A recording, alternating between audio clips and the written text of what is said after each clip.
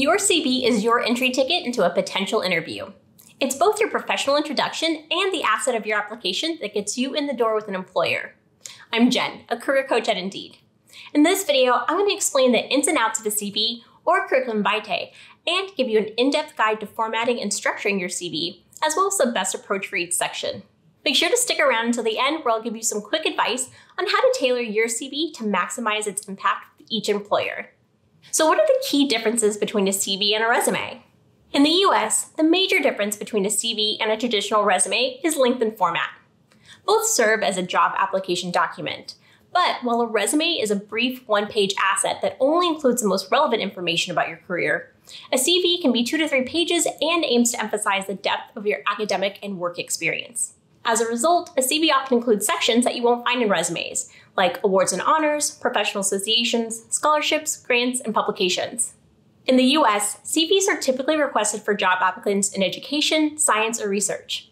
Unless an employer specifically asks you for a CV, or you work in a field where you know CVs are standard, it's best to submit a resume over a CV. Outside of the US, it is more common for employers to ask job seekers for a CV or to use the term interchangeably with resume, but both refer to a professional document that's similar to the US version of a resume. It's just slightly more lengthy. The tips I'll share today focus on the US CV lens, but are adaptable for both purposes. Next up, I'll dive into how to create a winning CV. But if you've watched this far, please take a second to like this video, subscribe to our channel, and hit the notification bell. Step 1. Conduct company research to develop your angle. Conducting company research is a critical part of creating your CV, and it's something you should do with every job application you submit. Now, this isn't necessarily intuitive. After all, your experience doesn't change from one job application to another. So why would company research impact your CV?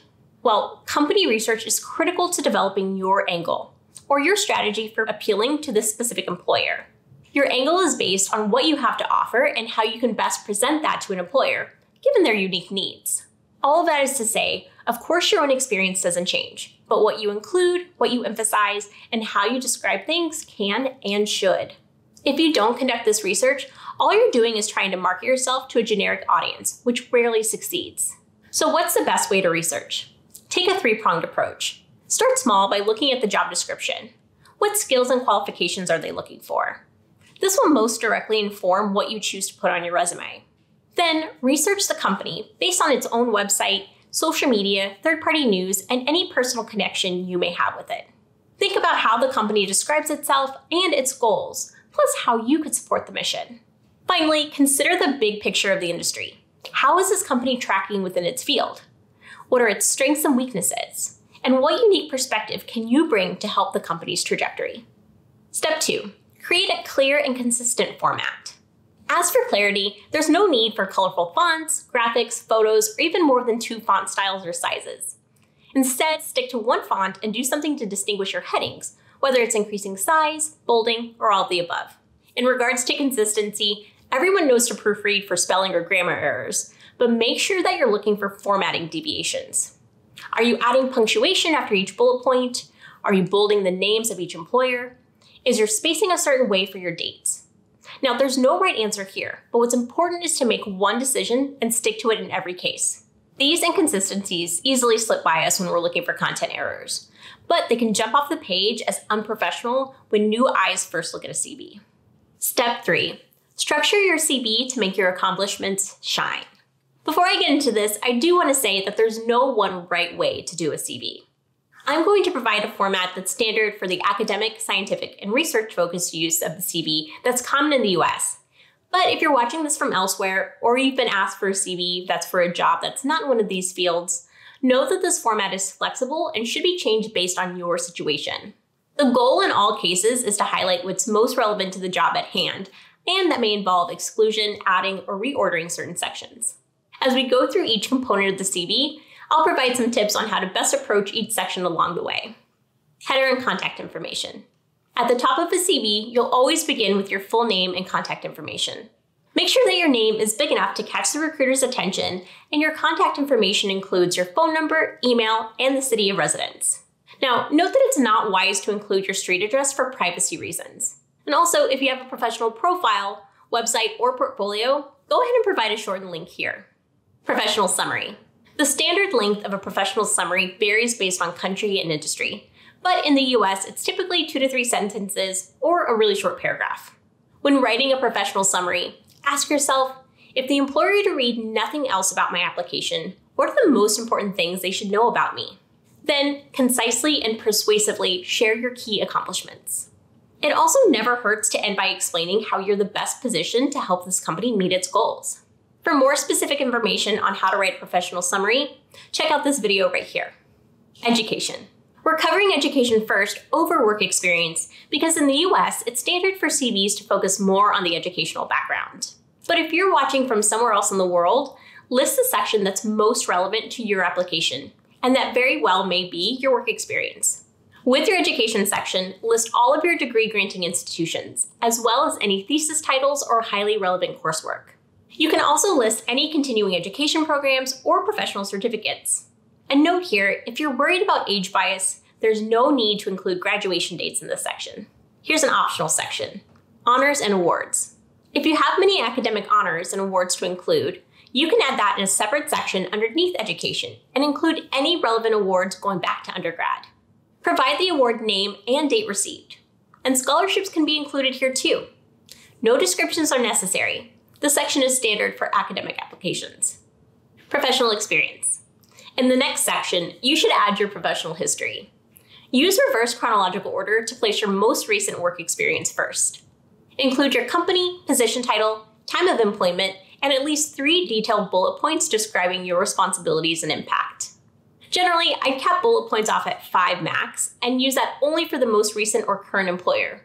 But the CV does have the ability to be long enough to fit the content, so use your best discretion on what's necessary and what's excessive. For academia, it's standard to only list academic related work experience and to include research history in its own section below work history. For all other fields, feel free to draw from any relevant past history, including internships and part time work. Here's a pro tip to write a great bullet point, start with a strong action verb, like drove, developed, or acquired, and describe what you did, and then look for ways to show impact by either adding numbers or tying it to a business goal. Publications and presentations. If relevant to the role, list all the publications or presentations in order of their publication date. And know that it's acceptable to include anything that's pending. They don't have to be long works, but they should be worth talking about if you're asked. Added qualifications or skills. It's best here to list five skills that prepare you for success for this particular role. Prioritize hard skills, specifically the skills that enable you to perform a task needed for the job, like coding or language fluency. And note, if you're applying for a highly technical role, move this below your professional profile so that the recruiter can easily identify that you're able to perform the key functions of the job. For more information on how to approach skills on the job application, check out this video right here. Additional sections. In these sections, a job seeker can tailor their experiences for the position, company, and industry they're striving towards. Additional sections might include professional affiliations, volunteer experience, interests, or any other relevant professional experience that you want to include. However, just remember that the goal here is to support, not obscure, the best parts of your professional offerings. So make sure you have a real reason for including one of these additional sections. Now that we know how to approach each section, I'll share the extra tip I promised at the beginning how to maximize the overall impact of your CV. Step four tailor your CV to appeal to two key audiences. Audience one, eliminators. Whether it's an HR representative, external recruiter, or applicant tracking system, the first reviewer of your resume has one primary aim to sift through the high volume of potential hires and make a large baseline cut of candidates that aren't qualified. The goal here is to make it as easy as possible for them to see that you fully meet the requirements of the role and should not be eliminated, especially if the role is being reviewed by an applicant tracking system or a software that employers use for high volume online hiring. Consider including potential keywords based on the job's needs that the eliminator is scanning for. Review the job description for any relevant keywords they may be looking for. These tend to be drawn from the skills and the preferred or required qualification sections. Then use that exact wording on your application to describe any of those same skills that you have. The less they have to think about if you have the needed qualifications, the better. Audience 2 Selectors. Your CV also has to impress a more discerning audience the hiring manager. While eliminators are looking for a reason to say no, hiring managers are selectors, and they're looking for a reason to say yes to you over everyone else. So you need to appeal to the human mind and heart. To make your best case, you need to explain to them why you and your offering would be the best for the company. Consider your professional summary, the phrasing of your bullet points, and every other aspect of your CV as an opportunity to do so. And this ties back to the tip about company research and your angle. If you don't take these steps, you're simply explaining what you've done in the past without making it clear why you're the best person for this future role. Now, that was a lot of information, so let's go over what we've covered on how to write a CV. We now know that in the US, a CV is longer, more detailed, and more academically focused than a resume. To write a great one, take the following steps. 1. Conduct company research to develop your angle. Think about how to position your offering as a solution for the company's needs. 2. Create a clear and consistent format. Be sure to look out for formatting deviations when you proofread. 3. Use our recommended structure, but adapt as needed for your circumstances. Remember, the goal is to make your accomplishments shine for the role at hand. 4. Tailor your resume to two key audiences.